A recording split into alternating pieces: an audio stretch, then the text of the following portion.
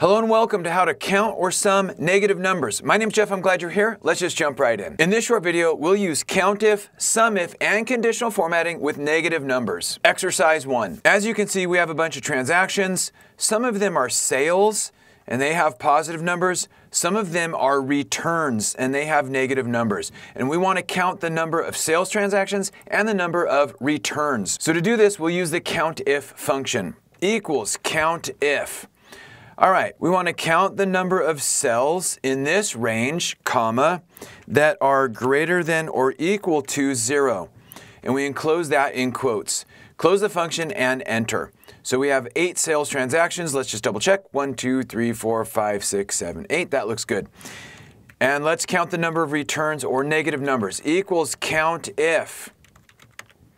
We want to count the number of cells in this range, comma, that are less than or equal to zero. And again, we enclose that in quotes, close function and enter. We have two and one and two, and that looks good. But what if we wanted to find the sum of those values? Well, that takes us to our next exercise. Exercise two. Now, to find the sum of the sales transactions and the sum of the returns, we're going to use the SUMIF function. Equals SUMIF. All right, we want to sum the values in this column, comma, that are greater than or equal to zero. And once again, we enclose those in quotes.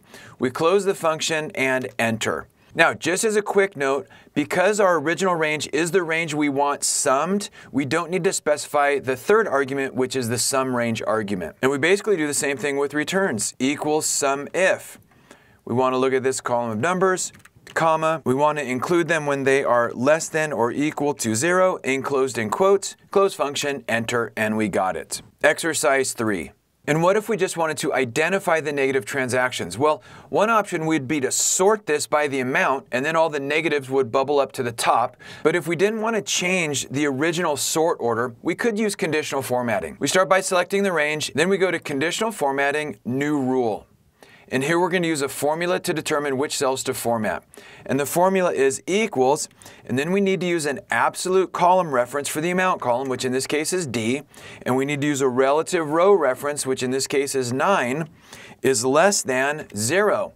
And then we can pick a format, and we can pick anything we want. We click OK and OK.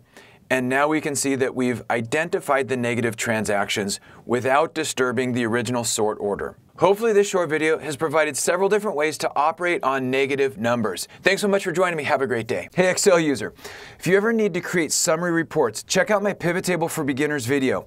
It starts at the beginning and shows how to store the data transactions in a table and then how to summarize those transactions with a pivot table report. I hope it helps unlock the incredible power of pivot tables. This video is a production of Excel University.